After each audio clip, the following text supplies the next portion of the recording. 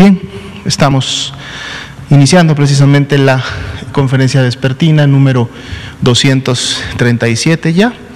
eh, a la par del día número 147 de esta nueva normalidad caracterizada por las acciones del semáforo de riesgo eh, COVID prácticamente nos va a quedar ya solo una semana al mes de, octubre, pero sabemos, y como se ha venido reiterando en cada una de las conferencias, que estas actividades pues van a mantenerse y van a mantenerse al menos hasta el próximo año, en el sentido de que por haber iniciado ya la temporada invernal, y esperando que los diferentes virus respiratorios, además de COVID,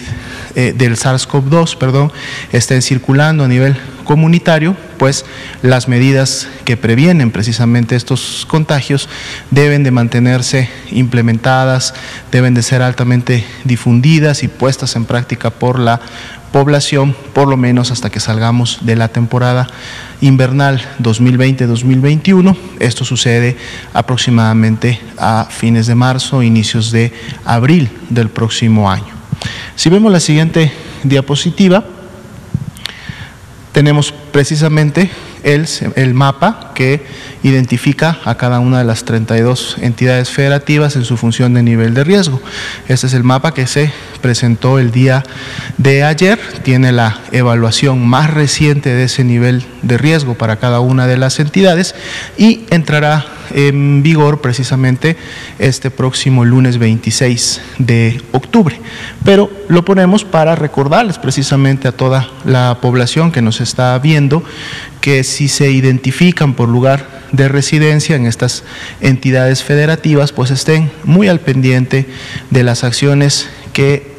ya han estado implementando sus autoridades sanitarias locales, pero en el caso que su nivel de riesgo haya cambiado y específicamente en el caso de que éste se haya incrementado,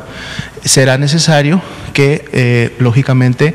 pongamos en práctica y respetemos las medidas que además de seguro van a subir de intensidad en función de poder cumplir el objetivo de disminuir la transmisión comunitaria del, virus. Y esto tendrá que ver, lógicamente, en la aplicación de estas medidas a los diferentes espacios públicos, tanto abiertos como cerrados, y sobre todo en lugares en donde pudiera haber concentración de personas, que el aforo o el ingreso a estos espacios de seguro incrementará en su eh, limitación y se tomarán medidas precisamente para prevenir que estas aglomeraciones se produzcan. Entonces hay que estar como ciudadanía muy atentos a estas indicaciones que en lo local nos van a dar de seguro a nivel municipal como medidas más eh, generales a nivel estatal, pero que son importantes para poder cumplir con el objetivo. En la medida que nosotros cumplamos con estas actividades y que además de manera eh, personal cada quien empiece a implementar y empiece a llevar a cabo estos nuevos hábitos que previenen enfermedades respiratorias, específicamente SARS-CoV-2 en este momento, pues entonces podremos realmente contribuir de manera colectiva a que la transmisión disminuya y si la transmisión disminuye en un área geográfica se generarán menos contagios y por lo tanto tendremos menos personas enfermas y entonces esto contribuirá a que por ejemplo entidades federativas que están en naranja en siguientes semanas pudieran alcanzar amarillo o entidades federativas como en el caso de Chihuahua que nuevamente eh, alcanzó el nivel de riesgo eh, máximo si continúa implementando las medidas que ya desde algunos días incrementó precisamente para contribuir eh, a manera de mitigación en la transmisión, pudiera en semanas posteriores también entonces regresar a niveles de riesgo más bajo. Y en el caso de los estados que están en un nivel medio amarillo, en un nivel bajo de color verde, es continuar implementando las medidas, continuar realizándolas en el día a día, porque entonces esa es la única manera en que podemos asegurar que la transmisión se mantenga controlada, se mantenga estable y entonces no tengamos un rebrote ni en el nivel local, ni en el nivel estatal y menos en el nivel nacional. Veamos la siguiente diapositiva, por favor. Vamos a actualizar entonces las cifras a nivel nacional para el día de hoy. Suman ya más de 2.288.000 personas que fueron clasificadas como casos probables en su momento con sospecha de la enfermedad de COVID-19. Cuando una persona tiene esta clasificación, ingresa a los protocolos ya predefinidos en cada una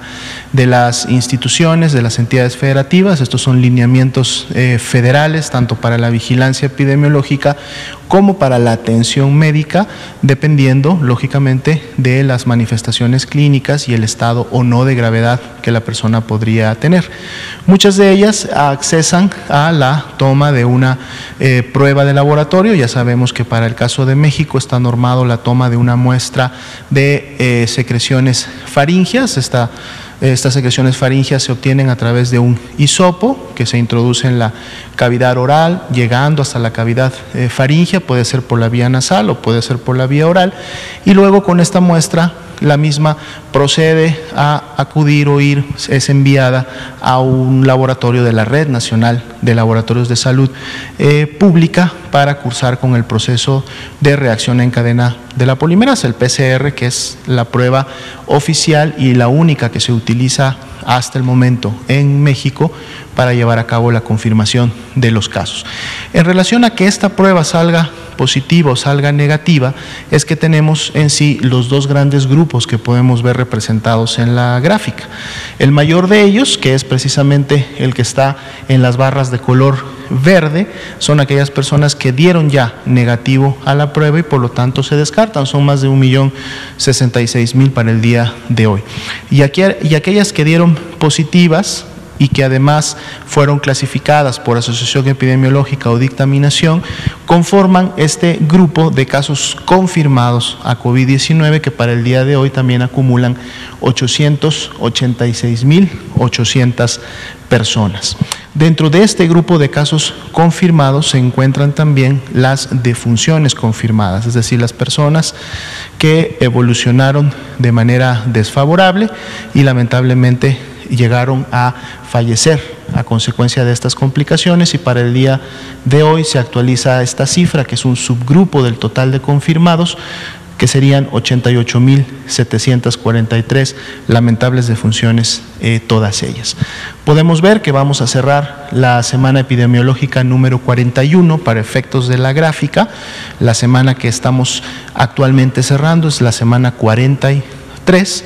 pero para la semana 41 el cierre de la positividad es de 42%, una positividad que vimos incrementada durante todo el transcurso de esta semana en dos puntos eh, porcentuales. El día de mañana empezaremos a graficar la semana 42 y entonces veremos cómo se comportan las diferentes tendencias y en su momento la forma de las curvas. Lo que ya veíamos es que sí vamos a cerrar la semana 41 eh, con un incremento en el porcentaje de la positividad en relación a ese 39% que teníamos o habíamos llegado a eh, desarrollar en la semana 40. Vamos a ver la siguiente diapositiva, en donde ahora tenemos los casos eh, estimados. Si nos permiten la siguiente.